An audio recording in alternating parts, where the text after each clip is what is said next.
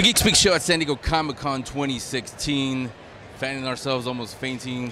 Drew, from Cary- Drew, how are you? Literal fanboy. Yes. Right here. Yeah, literally. We need one of those. Uh, so how's it going?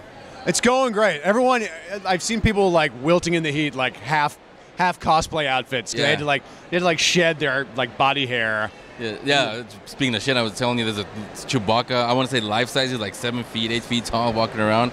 Looks cool, but like I said, I feel sorry for whoever's in there. Yeah, I just I keep waiting to see like stormtroopers just collapse from heat stroke. Yeah. So, so let's talk about the book. Uh, I mean, don't give it all away, of course, but just tell them what basically what, it, what it's about. Okay, so the hike is a, is a, a fantasy horror novel uh, about a guy who goes on a on a hike and he gets very very lost.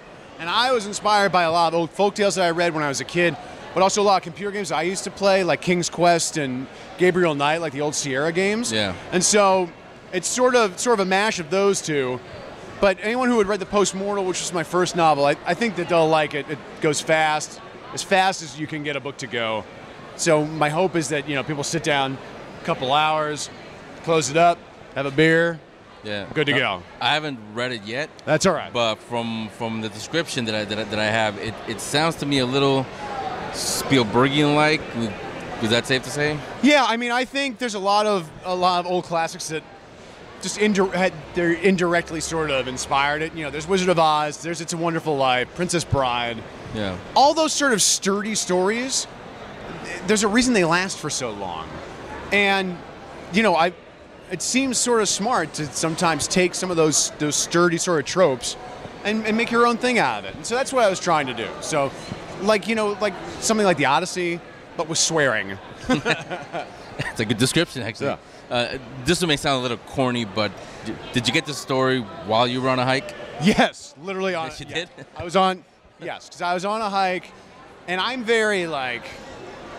I- I'm just like when I walk out the door in the morning, like, and I look up in the sky and there's like lots of clouds. I'm like, what if there's like a s- like a fucking saucer up there? Like I get very, I just get very daydreamy like that. Yeah. And so I was on a hike, and I was alone in the woods, and I was like really alone. And this was not like a secluded area. This was like a like a relatively well populated area, but there was nobody within eyesight anywhere.